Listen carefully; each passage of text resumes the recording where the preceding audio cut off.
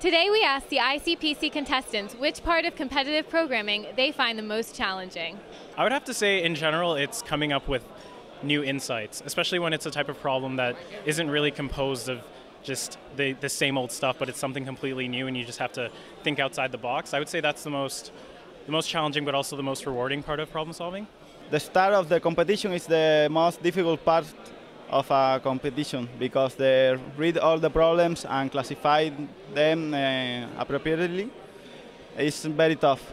Uh, I think the most challenging part is getting to know your team the best so that you can know which problem suits which team member. I think it is most difficult to learn and to, to provide material as a coach to students and motivate uh, students uh, to pro- uh, Uh, in this process of learning?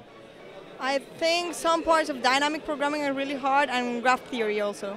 The most complicated is to handle like when you're nervous to handle the situation. It's the most part, the hardest part of of this competition. For all the latest updates on the 2013 World Finals in St. Petersburg, follow us on icpcnews.com.